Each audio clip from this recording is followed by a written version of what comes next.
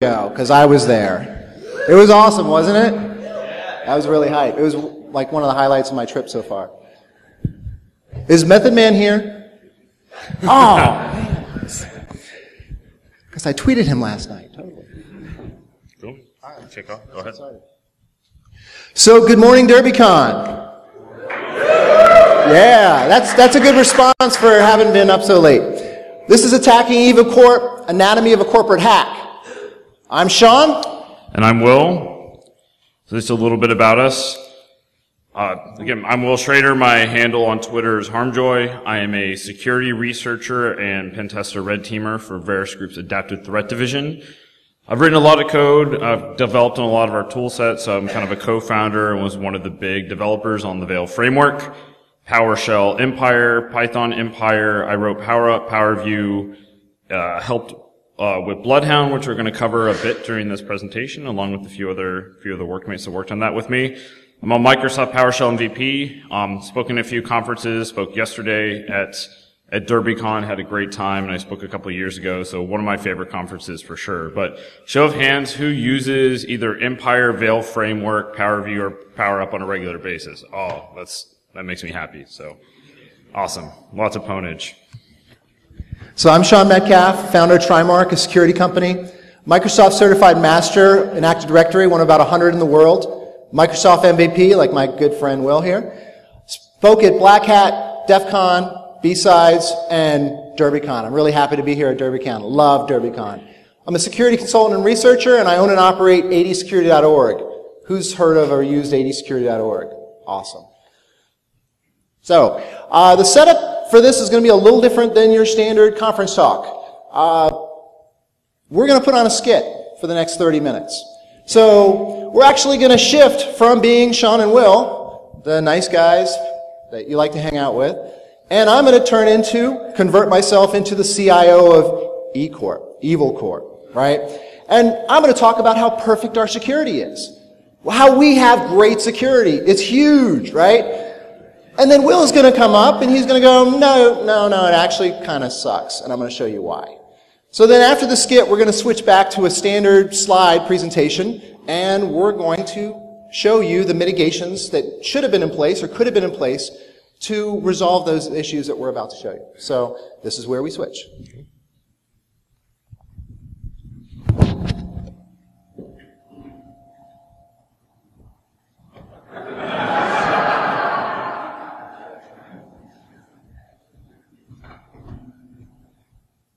Hello, DerbyCon. How are you today? I am the CIO of eCorp, the most secure network ever. We have a very large global Active Directory environment with lots of domains. We do lots of security with Active Directory to make sure everything is in good shape. We've got hundreds of domain controllers. We've got hundreds of thousands of endpoints, thousands of servers all over the world. We've got data centers to make sure that things are physically secure and we have offices all over and these are well connected, but we also have executives and other people that work from home and have mobile devices, so we have challenges with that. So we make sure we have really great security. And of course, we have a perimeter network for our customers and our suppliers, much like any other network. And we have our internal corporate network protected by firewalls. But not just any firewalls. These are next-gen firewalls. we have web content filters that filter out all of the bad code. In fact, it looks for the evil bit and it goes, no. We've got email security appliances that say, viruses, not today. We have VPN security using two-factor authentication, so there's no way that anyone who's not authorized, that I haven't signed a form for, can get on our network. We have endpoint security, antivirus, HIDs, HIPSIs, We've got all those things. Ultimately, eCorp security is the best, and we're unhackable. I'm sorry, there's a gentleman up here. You're saying that you don't think we're awesome, and okay, why don't you come up here? Let's see what you can do.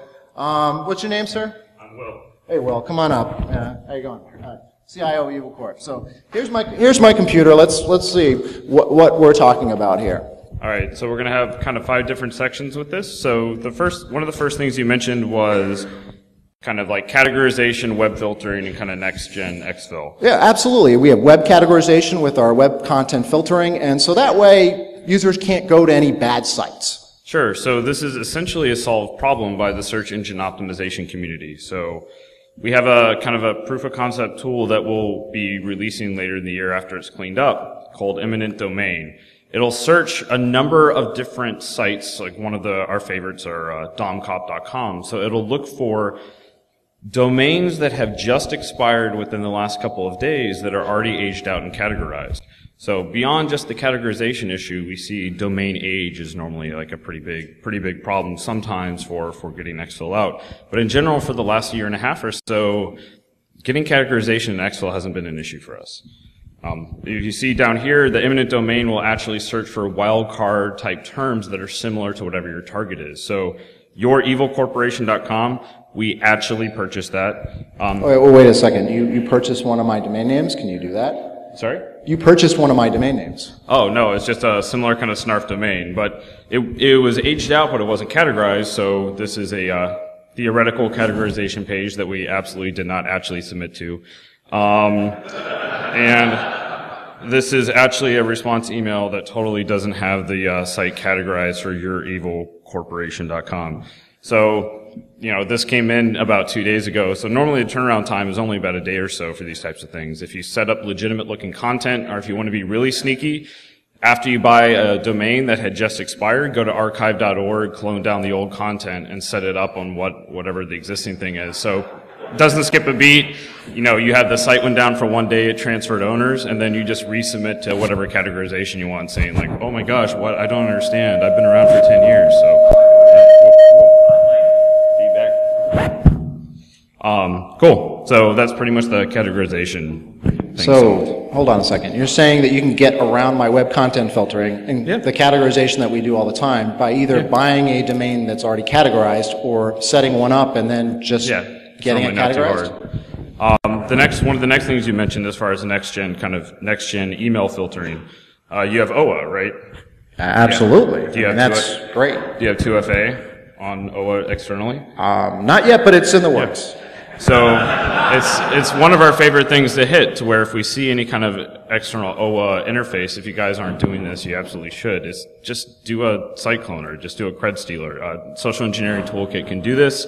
Uh, we tend to do it manually, so just having like really simple PHP snippet that will clone, you know, uh, save off whatever the creds are when people go through to the kind of spoofed login page, and then actually redirect to the le- legitimate login information. So really, really easy. Send the phishing email out. Um, if you if you get through with a with a couple of people with the domain, you don't actually have to get your payloads by. You just have to get your creds, log into OA, and then re-spearfish internally. You can actually craft a lot of your messages uh, much more kind of targeted because you can read through the existing email correspondence. So you don't kind of hit that security uncanny valley to where maybe the signature is just a bit off, or you know if you address somebody a little bit differently and people kind of freak out.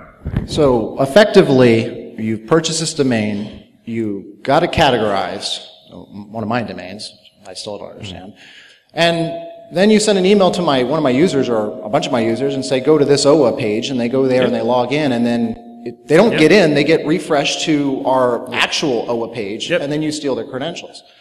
Well, that doesn't seem right. Uh, as far as as far as payloads go, our kind of standard right now that we like to use are malicious shortcut LNK files embedded within OLAs in uh, kind of Office documents. So shortcuts, is you can create these maliciously pretty easily with a, a few. I've have to embarrass my friends. So it's a really cool project that applies graph theory to Active Directory attack paths. If you guys haven't checked it out, like So definitely his, his name is Waldo? yeah, his name's Waldo. Waldo's Yeah. right there, I found him. Yeah, yeah. Um, so basically, we can take three pieces of information of who's logged in where, who has admin rights where, what users and groups belong to what groups, and that's it. We can collect all this information as an unprivileged user. We just need domain authentication, or we need a domain authenticated user, but we need no elevated privileges in the domain. With this, we can run a PowerShell ingester, which is essentially a customized version of PowerView that will enumerate all this information as fast as it can and then spit it out either to a RESTful API interface or a bunch of CSVs that then we can ingest down. Then it's uh, got a really, really nice dashboard for pathfinding and all this. So, So I, I have a question about this. So Mm-hmm. you go through this email convoluted thing and somehow get code running on one of my workstations, which I, I don't quite get, but okay, fine. And then as a regular user, you can get all this information from the environment with, without any admin rights whatsoever. Yep. And then pull this into some sniffing tool named after a dog. So the, from the pivot we're going to show, this user does not have local administrative access on the machine, and they're just in domain users. They have no elevated domain access. So for the two different attack paths we're going to show, kind of starting with recon, and then we'll move into the two paths, uh, keep in mind that this is a completely unprivileged user. So I don't know how I'm going to try to narrate this. Can I, all right, because I can't actually see. All right. I don't know. Oh man, yes. Fool me once. Fool me once, Dave Kennedy. Keep right there. All right, see you, man. All right, okay, I'm going to try to click this video and then move right here so I can actually see what's going on. All right. So we're going to start up Empire. Uh, we have our fish user on, this is the really.evil.corp domain and all the uh, machine names and users uh, are named after evil characters. So we have, we fished Ramsey Bolton on the Circe machine. Ramsey, he's a good guy. I feel bad for him. Okay, and we're going to run the Bloodhound ingester. So we're going to kick this off, and that there's a couple different collection methods. By default, it's going to enumerate all the groups, um, all the group group memberships, and like user memberships and everything. And it's also going to enumerate all the systems it can find on the domain, and then run enumeration threads to figure out the local administrators and session information for each. Uh, if that now that touches every single machine, it's kind of normal AD type traffic, but it's you know one workstation kind of spidering out and touching a lot of stuff.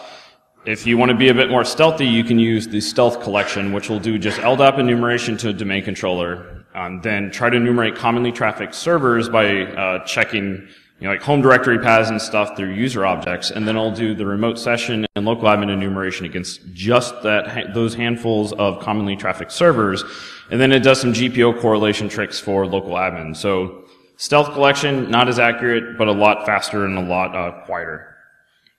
So, okay, we're going to kick off the new Bloodhound module. That's an Empire 2.0 beta that was released yesterday. This is going to send the ingester down, and it's going to be uh, it's going to start kicking all the enumeration threads and everything off in the back end. And did the video start? Okay, yeah, cool. So you can see there, it did all the enumeration, it saved all the CSVs off. So now we are going to actually just download the, the CSV names, and then we're going to switch over to our Bloodhound analyst machine. So cool. Got all these pulled down. All right, so we're going to start up Bloodhound. It is cross-platform. It's written the front end.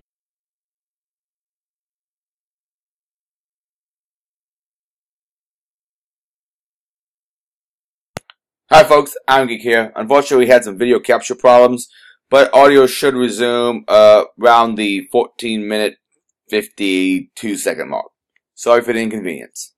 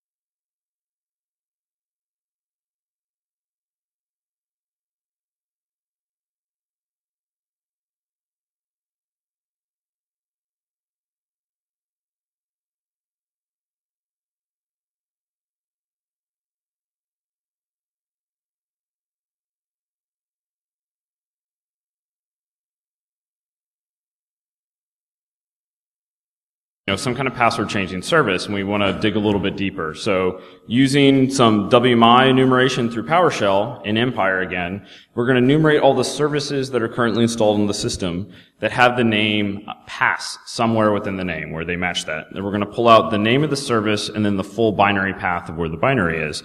So we see this password changing or this password changer with a, this kind of a, you know, whatever the exe path is, right? So we're going to go ahead and download this, and we're again going to take this off to a, like kind of an offline analyst machine. So pull it down, then we're going to fade out and go into uh, our analyst machine. So we're going to skip. You would do kind of basic exe triage and figure out what it's written in, those types of things. We'll say we determined that it was written in .NET in this case, or C Sharp, which is awesome for us because we don't actually have to reverse it. With .NET and CLR type applications and assemblies, you can throw them into a, like a decompiler and take, you can go from the common intermediate language, like kind of runtime or the, the opcodes and go straight back to what the actual source code is. So our favorite tool for this is dnSpy. It's free and open source. We can just throw our binary in here and start tracing through. You know, we see, I'll zoom in here in a second. We see kind of the, the entry points. You know, this, uh, okay, the service is starting. Um, you know, we see this like create user function that looks like it's creating a help desk admin.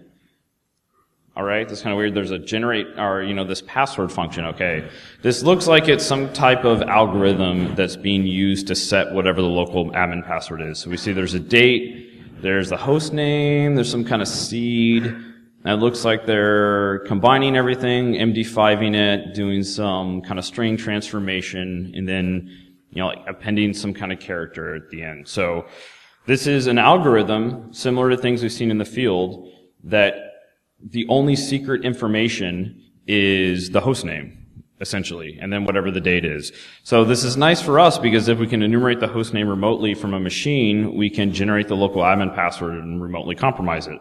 So because C Sharp and PowerShell are so similar, it's really, really easy to take that algorithm and port it into PowerShell, which you see here. Now, from here, we are going to go one step further, and we are actually going to build a custom Empire module to execute this. So, uh, right here you see it's the similar type of algorithm right there in the in this kind of custom Empire module. So I took just the basic template, put the PowerShell snippets in in that basic function, and we're going to pair that with WMI, so invoke WMI method. So this will let us do remote lateral spread through WMI with the password being pre-generated and executed based on whatever the host name is. So we can just give it a host name, it'll go and essentially install an agent. Just think pretty cool. Again, very similar to something we've actually done in the field. So now we need some targets. I know it's going to scroll off here in a second, but we're going to use a, a module, a PowerView module within Empire, and we're going to enumerate all the computers that have the Windows 7 operating system. So we're assuming this password changing binary is done for clients. And we just kind of, in the little network segment we're in, we're going to see what other machines they are. So we landed on A, and we see, uh, let's see, Kruger for Freddy Krueger and Jigsaw or some of the other, some of the other hosts. So now I talked about pathfinding with Bloodhound. You can find a path from any node in the graph to any other node in the graph. So instead of just spraying agents to every single machine that we might have access to, we wanted to do like kind of targeted attack path execution. So we'll gather a lot of information, trace out exactly what we want to do, and then do targeted compromise on, on those sections. So we're going to see, is there a path from, uh, I think like Jigsaw to, to the domain controller Vader? No, there's not. But there is for this, uh, this Kruger machine. So we see it has a has a session. Uh, whatever. Um, it's got a particular user logged in who's a member of Guild Calamitous Intent. But you see like this kind of nested group memberships that might have admin access to specific machines that have different users logged in. So with the information that we gathered in the first enumeration phase, we can actually start tracing out a multi-step attack path. Now, we're going to flip back Cool. Uh, we're going to verify that the next step in this mach- uh, the next step in this attack path is actually true. So we're going to use one of my favorite bits of functionality in PowerView, getting at local group. It's rolled into the uh, get local group module in Empire. This will use the WinNT service provider or some API calls in the backend to enumerate the l- members of a local group on a remote machine. So I can figure out who's a member of administrators on a remote machine without having elevated access to that machine. So this really is kind of crazy to me that you're allowed to do this. Um, Windows 10 Anniversary. Edition, yeah, Windows 10 Anniversary Edition Server 2016 finally locked this down by default. So they're paying attention and realized maybe it's not the best idea to let any user in your domain know all the local admin memberships of every other machine in the domain. Because you'll see how this kind of comes into play and how we can build these attack graphs. So we verify, okay, this help desk admin is a local admin on, on this machine.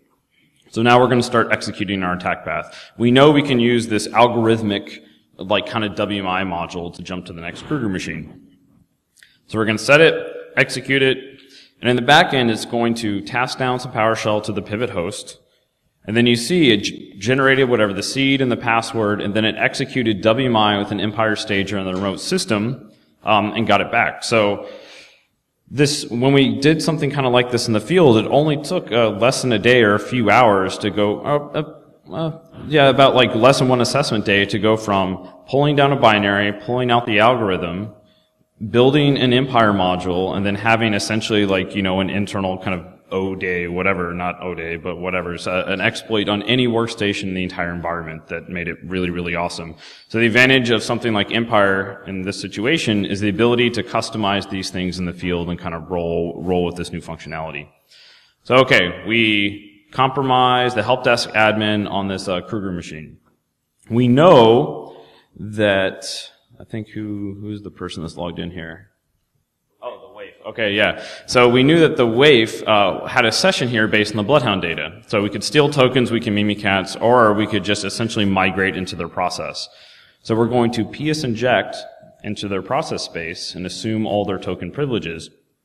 So what's nice with Empire, it does a whole bunch of kind of black magic in the back end that one of my workmates worked up of taking ways to load up the .NET Common Language runtime into an unmanaged C or C++ process space that then loads up a, an assembly that then does a PowerShell runner and does a bunch of other stuff. So in result, what you guys should care about is you can run your PowerShell Empire agents in processes that are not PowerShell PowerShell.exe.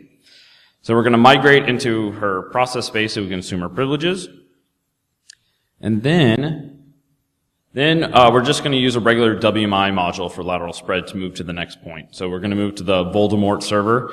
Um, because we saw through that Bloodhound attack graph that the Waif did have access to this based on her unrolled, like multi-nested group membership. So if you had just enumerated that server directly, you wouldn't have known, you know, does this person have access there? Because these things can start to spider. And this, even though this is a relatively simple example, if you can think about these things at scale, if you're thinking about thousands of groups or thousands of users and systems, there is no way that you're going to be able, like by hand, to find every single attack path. You might get lucky and find one, but you're not going to find all of them. So, okay, uh, so now from here, we know that the Waif has access. Oh wait, was it? Oh, it's Eric. Yeah. Okay, yeah. So Eric Hartman is a domain admin. Respect his authority. The- This is the research and development group. They have their own domain because of this reason. They kind of do their own thing. So we have our production environment, another domain in the same force, so we're fine, like, go ahead. Yeah, yeah, we'll see. Um, so, okay, now the last kind of lateral spread that I'm going to go over is something called subversive profiles. Has anyone heard of PowerShell profiles or a little bit, a few people? So, okay, whenever PowerShell.exe starts up, whether it's the ISE or regular PowerShell.exe, it looks through a series of locations, which I'll highlight here in a second, for your profile, your profile.ps1, which is a set of PowerShell code that's normally used for like shell customizations and things like that. Now, whenever, so whenever PowerShell.exe starts, it's going to execute whatever code is in that profile. So there's a blog post, which I'll show in a second, where Matt Graber, my boss from the next room, uh, talked about attackers potentially using this subversively for persistence. We're going to use it for lateral spread to get around script block logging. So, essentially what's going to happen is we're going to generate the, uh, zoom in a second, we're going to generate your Empire launcher, your Empire launcher code, and then using WMI and remote registry, we're going to push it over to a value on the remote system, execute a command that pulls it down and saves that malicious logic to a profile.ps1 and like the the PowerShell program files or the C, you know, System32 Windows PowerShell profile v1 thing. Then we're going to execute PowerShell.exe on the host. It's going to start, load the profile, execute our actual logic. It's going to kill itself and then we're going to restore what the original profile PS1 is. So all the client will see are if you're doing command line logging or Carbon Black or anything like that, these really awesome solutions, you're just going to see PowerShell.exe starting. No command line, no command line flags, no command line whatever else. It's not doing dash F for file or anything like that. Then if they did have an original profile, like the system will be completely cleaned up. So this module isn't public yet. We just need to clean up a couple of things and we're going to release it in the next uh, month or so. So this is the blog post that Matt put out. So investigating subversive PowerShell profiles. Highly recommend everybody reading it. It's uh, pretty cool. So again, he kind of talked about this from a DFIR perspective of you want to ensure that, you know, you pull all profile.ps1s when you're doing IR on a machine. For us, it doesn't really matter because we're using it for lateral spread, not persistence. And we repair and clean everything up. So there's you know, we're not really leaving any traces. So again, nothing super, super crazy, but we thought it kind of a cool new little lateral spread method. That, uh, I don't know, command line logging has become a more and more of a pain over the last year. Okay, so because of the local admin password changing executable, uh, you took advantage of the fact that the algorithm wasn't as secure as possible, et cetera figured out what that password was on a different machine, and then leverage that information to jump to one with the domain admin, and then use this PowerShell thingy yep. to then run your code on our domain controller. Yeah, so, you know, you see up there, we're creating the profile, pushing it over, executing PowerShell.exe, we get an agent back, and we're repairing the profile. So, so, okay, let's say we take care of that, then we're good, right? Oh yeah, yeah, I'm sure. All right, so that was attacking client to client.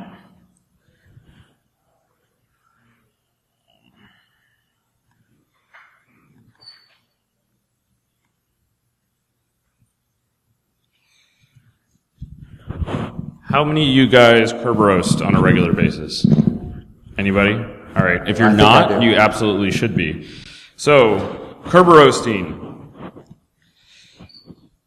Kerberoasting involves the abuse of user accounts that have SPN set. So SPNs or service principal names are configured um, for service accounts to kind of enable the authentication flow uh, for Kerberos and in, in normal Active Directory domains. So when a user requests a service ticket, a TGS, um, it, it sends, I, I, keep, I keep forgetting exactly how, like this, Kerberos is extremely complicated, but when a user requests the TGS, it'll send the request for the exact spin with that user account to the domain controller, which will actually go through the Kerberos negotiation process, and the end result is you get a TGS that's sent back down to the user.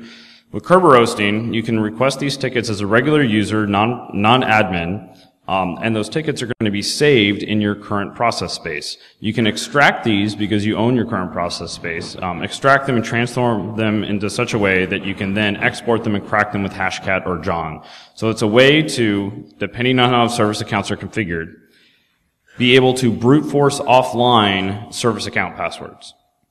And service account passwords usually don't change very often, right? Like they're, they're usually around for a long, long time.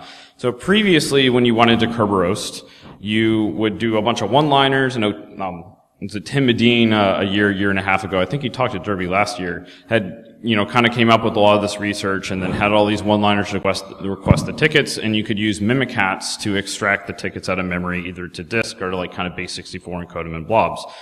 Now, thanks to a pull request by, uh, I think it's MachoSec from, uh, on the PowerView, the PowerView, uh, the PowerView code in PowerSploit, there is a much, much easier way to do this without needing Mimikatz. So first, we're going to check what are our targets.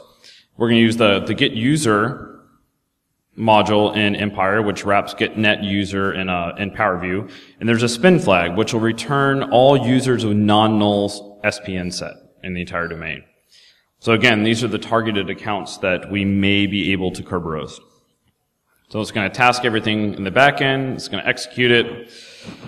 Then we should get the results back for, I think in this kind of sample, there's, there's three. Let's see. We have, uh, we have the Ring, we have Death Star, and we have, uh, White Walker somewhere up there, I think. Yeah. Okay. So we have three different service accounts that we may be able to Kerberos.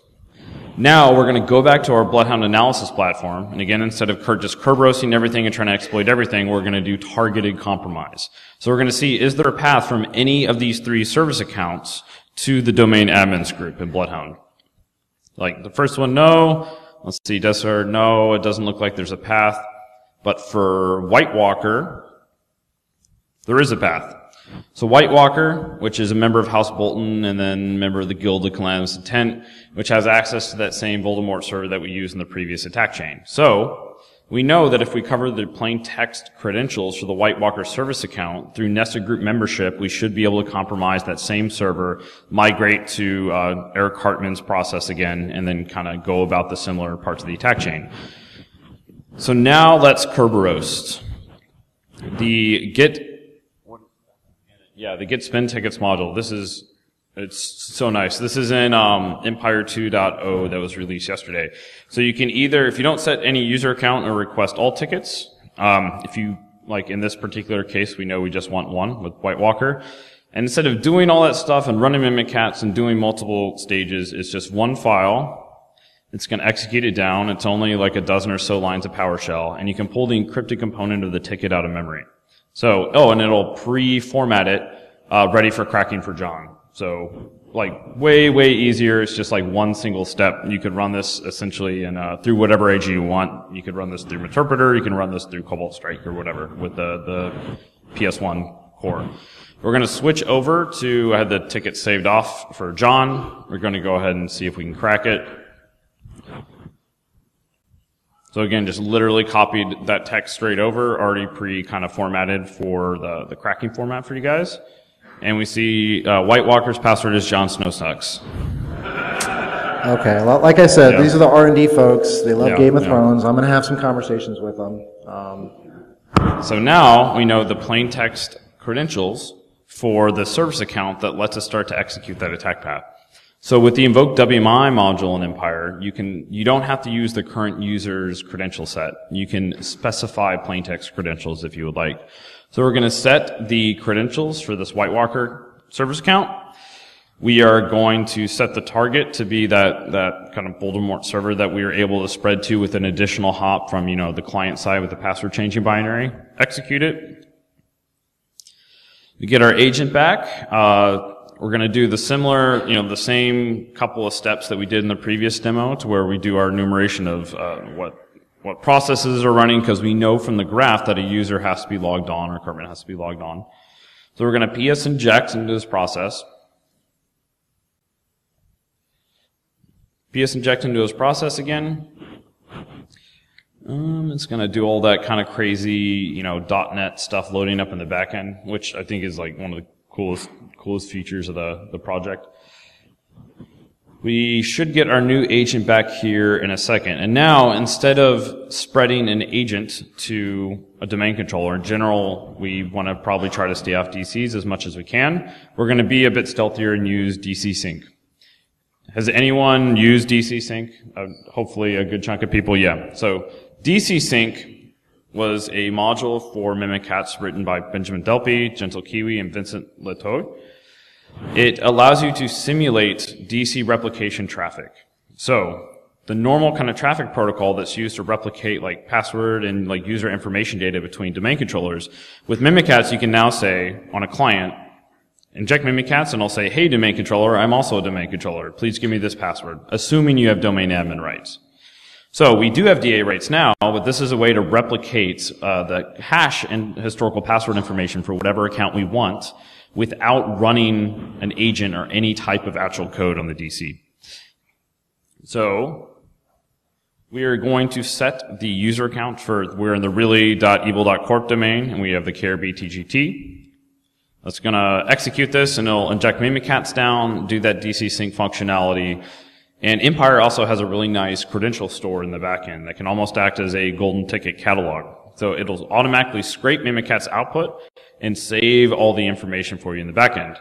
So we see, let's see, uh, Vader, beta.relay.evil.corp is the domain controller. So saved everything out. And if you type creds, you see that everything is saved. It's going to save off the domain SID and everything else, and we'll show in the, the next part of the demo how easy it is after you DC sync or hash dump to use the credential store as a golden ticket catalog. Okay, so, all right, a lot of stuff going on here. Um, so you were able to get a service ticket for this Kerberos service account and basically take that ticket and crack it offline because of how Kerberos works. And then use that password, because it was a horrible password, cracked pretty easily, obviously, in order to gain access, um, to get domain admin access on this R&D domain. So when you do this Bloodhound stuff and pull the information from the environment, isn't that attack traffic? No, so I mean, we do the enumeration once, and the collection component can either be as noisy or as quiet, kind of as we want, you know, per situation. And after that, all the querying is happening offline. So we're not doing additional LDAP queries every time. And the the traffic itself is just LDAP enumeration for the most part for any any type of the user group unrolling, and then it's a, a handful of like kind of typical API calls, uh, remote net session enum type things, like in the back end that are going up against a couple of these servers. At this point, the only thing that I know of, there's probably some commercial products that can detect some of these components. The main one that I know of is Microsoft ATA for, I think is Adaptive or Advanced Threat Analytics. It can detect the remote session enumeration against a domain controller if it's installed, but it won't detect it against all these other servers. At this point, they don't detect kind of anomalous LDAP enumeration traffic. They say that that's coming, which kind of terrifies me, but um, we'll see because there's so many devices, there's so many things that you know, old network printers and address books and all this kind of crap that needs LDAP and plugs into LDAP. So there's a reason that people haven't, you know, locked down people running, you know, net, uh, net group domain admins on domains because lots of things plug into this functionality and Active Directory is meant to be a directory for things to look up information. Uh, with Server 2016, there is the ability to, they've introduced ACLs that will let you lock down who can enumerate what information in the domain, which is also kind of scary. But that's not enabled by default, and we all know, I mean, we all know that all clients will enable and configure it perfectly as soon as it comes out, so I'm sure that'll happen. So now we saw, you know, there was, we were in the really.evil.corp domain. Uh, we were in a child domain and a forest, so you guys have some kind of like forest trust relationship. So, here we go. Okay. So we're going to go back to our initial pivot. So our unprivileged user um, of Ramsey Bolton on CRSA with, without any kind of privileges. And because we've DC synced, what we're going to do is kind of the SID, SID trust hopping attack to elevate from the child domain all the way up to the parent domain. Normally, trust will flow down from the forest root down to everything else if you're enterprise admins, right? So about a year ago, um, this researcher named Sean Metcalf and Benjamin Delpy worked out a way to really weaponize a, the- a, an attack that's been theoretical for about 10 years, which if you have domains within a forest and you compromise any domain admin rights or any, if you compromise a domain controller or the KRB, TGT or whatever within, anywhere within the forest, if you can modify the SID history for a particular user and set the SID history to be enterprise admins, you can instantly compromise the root of the entire forest. So you can hop up. Um, I know this is like this blew my mind when I first kind of learned about it, and I didn't really believe it, but we've done it in the field and it works. So SID history is a, a, migration function, or it's a function to facilitate migration between domains. So if you had like going from domain B to domain A, the idea would be when you take those users and migrate them in, you set the SID history to be the SID security identifier of their old groups. So this would preserve their access to the old groups. Um, again, the idea was meant for migration, but people realized 10 years ago that a theoretical attack was possible to where if you could modify the SID history for your user to be enterprise admins, then you became an enterprise admin within the forest. But in order to do this previously, you had to like hard modify stuff in the ntds.dit. It's a super, super, super protected attribute. It's a giant pain in the ass to modify. But with the golden ticket component that they figured out, you can set the SID history in the golden ticket inject it, and then just instantly hop up. So it was finally fully weaponized. So the one bit of information we need, uh, last bit of information we need, is the uh, the SID of the root domain. So we know the SID of our child domain, but we want the SID of uh, evil.corp. An easy way to do this is with a, this user to SID functionality from PowerView or Empire. Just take that username and it will translate it to the full security identifier. So we know KRB TGT always has to be there, so that's the one I tend to use. I'm going to copy off the domain SID. We need that to create that SID-519 is the SID for enterprise admins for the forest. Now we're going to create a golden ticket. I mentioned that, that cred, the cred store. So you, what's really nice is if any Empire modules have cred ID, it'll accept just a number of the cred store that'll automatically auto-populate and fill in the KRB TGT hash, the domain, uh, the uh, domain's original SID and all those kind of components. So you can, again, use it kind of like a, a, golden ticket catalog. And I'll scroll up the screen, I'll, I'll, do an info to kind of show you all the, the stuff, but we're setting the SIDs, so the extra SIDs, to be the forest root SID 519 for enterprise admins. And also, does anyone know about the 20 minute rule with golden tickets? A little bit. Uh, it's a little bit, um, a little more unfamiliar for people. If you create a golden ticket, you have 20 minutes to run around with it before the domain controller verifies that that account exists or not. So that's the only validation that they do. They don't verify, like, is this user in the right groups or whatever. They verify if the account exists. So, if you create a golden ticket for a user that does not exist in the domain, you have 20 minutes to run around and then really have fun with event logs for, with defenders. So, um, I've known people that may or may not have uh, cross-site scripted Defender sim solutions by stuffing JavaScript into user account names, but um, that's another story. So, uh, root SID 519, right? As soon as we inject this, we should essentially become an enterprise admin instantly. And again, showing that just kind of that trust graph. This is a simple one. If you have a really complex environment, you know, it becomes a little easier to, to navigate in Bloodhound. So we're going to execute it, and it'll also do pass the ticket, so it won't save anything out to disk. It'll inject the ticket straight into memory, which we can purge later if we need to. Uh, come on. All right. And this, in the back end, this is all using Invoke Mimikatz, which was based off of work by Joe Bialik at, uh, uh, at, at, Microsoft. So he was one of the guys that really introduced a lot of awesome functionality into the PowerSploit project. So we see here, we have that high, that user that doesn't exist to have fun with the blue team, and then we have the extra SIDs to be that the forest root SID dash 519 for enterprise admins. So now the last part we're going to do is we're just going to go ahead and DC sync the forest root. I know, um, I don't know if uh, you've had the advice to, to change your KRB TGT account. Yes, yeah, actually, we we uh, rotate that automatically every couple of hours. Okay, do you just they, do they that? told me that would fix golden tickets. Do you just do that in the forest root? Yes, of yeah. course. That's for a production environment. Yeah. So the really fun thing with the SID hopping kind of attack is in order to ensure that you're not compromised forever, you would have to rotate the KRB TGT account on every domain and every domain in your entire forest all at the same time. Because essentially, any KRB TGT account and any child domain controller in the forest can be used to compromise the forest root and anything else. So, and the SID hopping attack, it doesn't matter if the KRB TGT rotates. We just got it and within a minute we could, you know, hop up and DC sync. But yeah, you have to rotate it for every single domain in your entire forest at the same time, repeatedly on a regular basis, if you want to ensure that you're not going to be completely compromised. Because if they compromise a child domain, and then you rotate a few other things and they forgot one of the children domains, then you can just hop back in, uh, get your EA access again and go to town.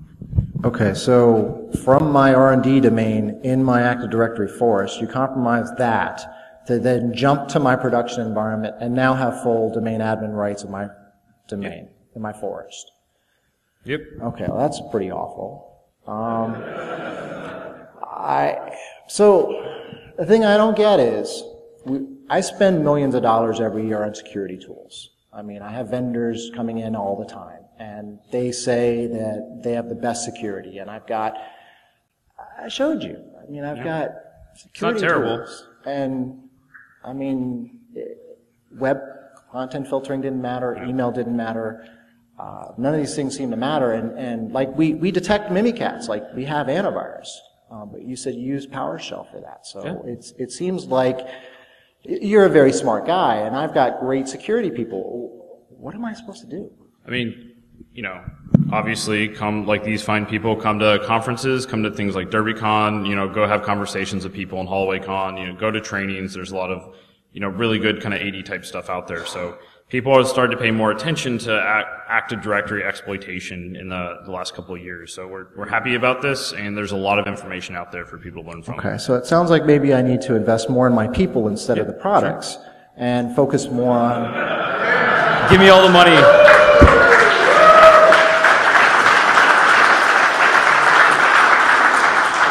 So I, learned a lot today, and, and I appreciate your help with this, Will. And, and if I, I, I guess I need to send my people to more conferences. They keep asking me, and I'm like, yeah, you're just going to party and drink, and, and it seems like that's part of the experience. But apparently, there's a lot of good things to be learned at conferences and, and going to training, and this is the real thing that's going to help security. Because I thought we had some pretty good security in place. Yeah. So.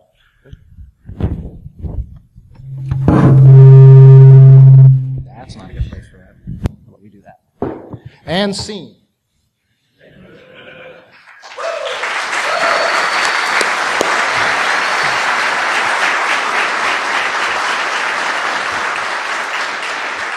So let's talk some mitigations. Um, the initial foothold was pretty intense, right?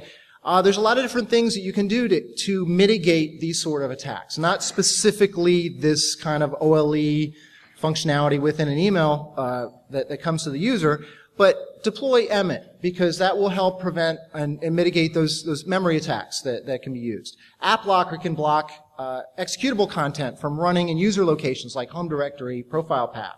And often ransomware takes advantage of this. User runs, uh, downloads something, and they execute it, and it runs. So you can use whitelisting. This is more like blacklisting. You block certain locations so they can't actually execute the content. You can manage PowerShell execution using AppLocker or constrained language mode. Now, Matt next door probably has some ways around that. But again, these are all layers in your security. Just because one layer can be defeated doesn't mean you shouldn't put it in place. As engineers, we often want a 100% solution. You do not need a 100% solution.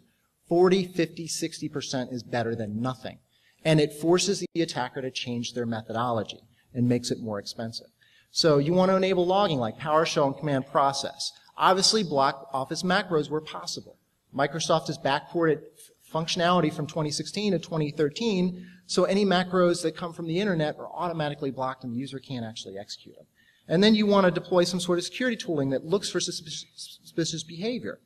If a user has word that's calling PowerShell or some other executable or doing something else that's wacky, that's probably bad. We can also limit this capability as far as executables that get onto the system. Executable type content, blocking email and download uh, capability for certain types of files. You can also change the default program for scripting languages. JavaScript can actually be double clicked on and executed by a user. We don't want that. Change that to Notepad, but please test first. Recon is a tough solution, tough problem to solve. AD Recon, Active Directory is an LDAP directory. So that means you can pull pretty much everything from it at any given time. But there are ways to kind of limit this. If you increase the security on sensitive GPOs like security group, group policies, then the attacker doesn't have an advantage of just pulling everything that's in those group policies, opening them up, and knowing how your security tools like AppLocker and Emmet and others are configured, as well as what you have out there. And certainly evaluate some sort of behavior analytics tool like ATA. When we're talking about lateral movement, attackers moving from place to place within your environment, we want to make sure that the attacker isn't able to just run free. If they drop on a workstation, if you block workstation to workstation communication, or just allow specific ports, then they are constrained into a specific computer or environment, and they, it's very difficult to jump out of that. Look at LAPS. Look at Trusted uh, Sec has ships. Ways to change your local admin passwords uh, that are out there. Do not try to roll your own. There are some good solutions out there that work very well. Privilege escalation. I still find some passwords in Sysvol. Please make sure that you don't have passwords in Sysvol. And when we're talking about Kerberos roasting, the simple solution to this is make sure your service account passwords are at least 25 characters, preferably 30. Or use managed service accounts. Or get a password t- tool that will automatically change those passwords for you and make them super long and complex. The longer they are, the more difficult it is to be cracked. And if we make sure our computers are running NTLM v2 or Kerberos, it's a lot more difficult for passive credential theft like Responder to actually work. Which brings me to admin creds. If we make sure that all of our admins only log on to specific authorized admin systems, we can raise the bar and make it more difficult for those credentials to be stolen. If you add your admin accounts to protected users, which comes available in 2012, then they are not able to be delegated and they don't support insecure NTLM authentication. You also want to reduce the surface, the attack surface of your workstations and servers that are used for admin accounts. So control access. Remove NetBIOS. Probably doesn't need it. Get rid of LLMNR. Get rid of WPAD. And this rolls over into legacy. Audit and restrict your NTLM authentication in your environment. If you don't know what's being used, there's no way that you can control it. Enforce LDAP signing. Use LDAP S for any non-Microsoft Windows type applications. If it's Unixy, it's going to bind. If it's binding over LDAP, that's clear text. That is bad. Enable LDAP signing and encryption where possible. We want to disable these older protocols. I mean, who has seen WPAD used legitimately in an environment, right? A couple of times. But it's enabled everywhere and Responder takes advantage of it and pen testers and attackers can just drop on a system and ask for creds effectively. And in Windows 10, please uncheck SMB1 and PowerShell version 2. If you don't do this, um, certain tools like PS Attack can leverage the PowerShell version 2 and bypass all your fancy PowerShell version 5 logging. So in summary, once an attacker gets a foothold in your network, admin access is often quickly obtained. We showed a couple of examples. This is all fictional, but these are things that are being done in real life.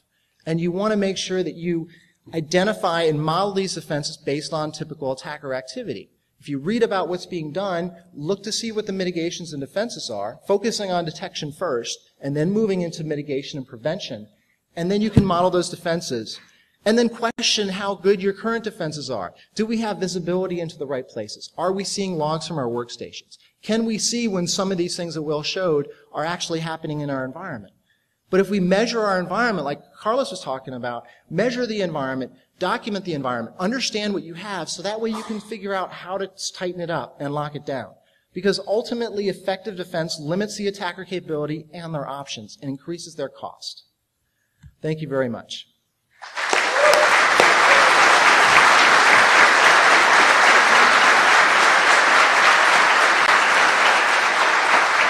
So